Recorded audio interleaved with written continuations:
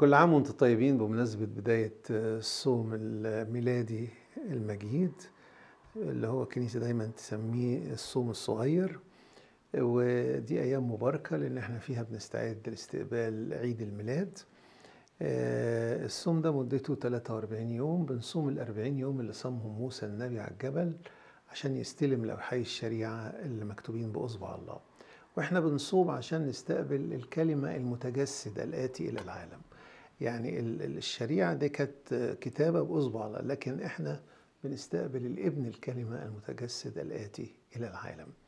فكل هذا الصوم هو تهيئة للنفس وللذهن وللروح إنها تستعد لاستقبال آه، ميلاد المسيح له المجد في ثلاث أيام زيادة بيقال إنهم آه، لتذكار نقل جبل المقطم اللي سموهم المصريين الأقباط زمان عشان ربنا ينجيهم من الحادثة بتاعة جبل المقطم.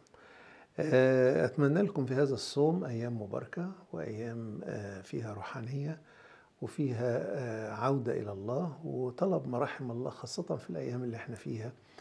بتكثر من حوالينا الحروب وتكثر الأوبئة وتكثر الأوجاع والآلام.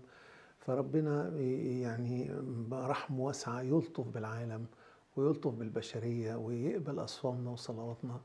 وينجينا من المآزق ومن الضيقات والآلام اللي إحنا بنمر بيها. وكل سنة وأنتم طيبين ويعيد عليكم الأيام بخير ويبقى عيد الميلاد عيد سعيد ومبارك. شكرا جزيلا.